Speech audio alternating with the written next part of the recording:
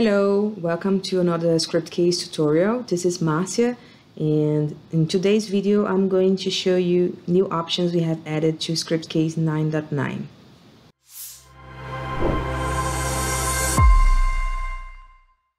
So before you use the options, please make sure you have your version updated. You can check here and if it's not the latest version, you can go to help and update version. To demonstrate the new options we have added to this version, I'm going to use here this project samples. I have already imported it. Within this minor version, we have added some improvements, not new features, but improvements. One of the tools we have improved is related to the data dictionary. So the data dictionary itself, we have changed the layout. I'm going to add here to this video description a link showing you how to use the data dictionary if you don't know it. So you can uh, click here to see the data dictionary created. You will see that we have a brand new interface. You have a better way to use it now. You can edit here, uh, including the new option we have added. You will see that the interface is uh, more friendly now.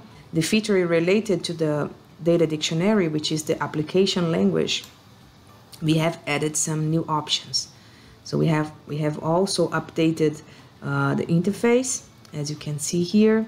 So we have a new layout and also uh, new options. If you check here the folders, you will note that we have Scriptcase messages and we have project messages.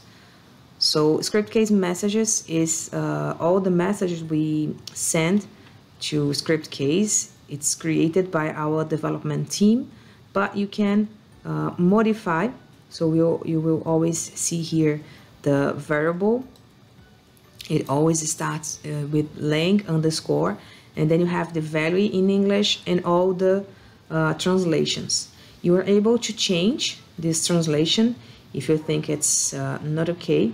And once you change any of this translation, uh, Scriptcase will uh, give you the option to send this uh, modification to our development team. So it means you can improve also this message for our Scriptcase in general. So back here to Scriptcase messages, you will note that we have fixed the labels here for the language. So when you do the vertical scrolling, it will not disappear anymore. It's uh, easier for you to edit the, the, the messages. Uh, and we did the same for the columns. So if you do the horizontal uh, scrolling, you will see that it doesn't uh, move. So it's essential for us to uh, edit here the, the message. And we have added also the option for quick search within the, the screen. You can go here and search for one specific message. Any information you add here, it will search. So very useful option as well. And uh, when you go to the project messages, you will be able also to change the folder's uh, name. So you can edit and also delete.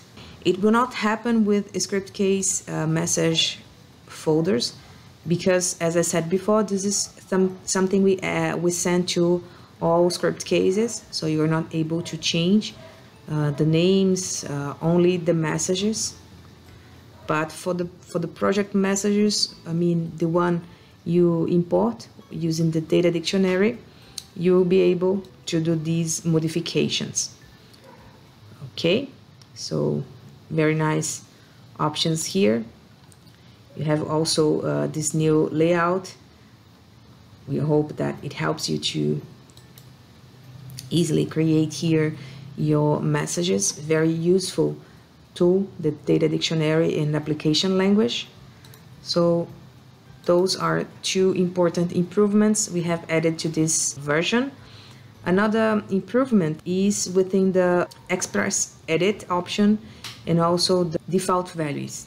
Okay, so it's not a new option, but it's just something we added to the Express Edit and to the default values. So I'm going to open here a form application just to exemplify a simple form using the table of customers.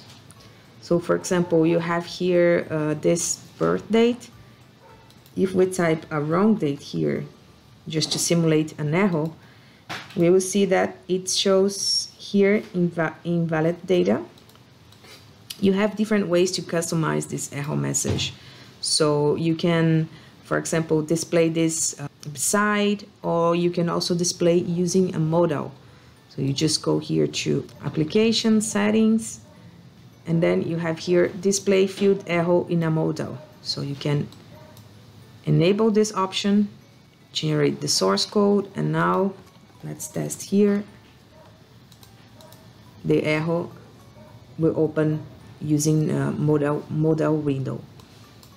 So this is something you can already do using this option I'm showing. And you have also other options that were not included within the express edit the default value. So I'm going to access here first the express edit within the menu application express edit. And you will see let's select all applications you see here the new options added. Field echo position display echo in a modal timeout echo display date format and also display message. Okay so next. And then you have here the options for you to configure how you want to have these options. And also within the default values you have them all and you have here the label new for you to identify display uh, date position in date format.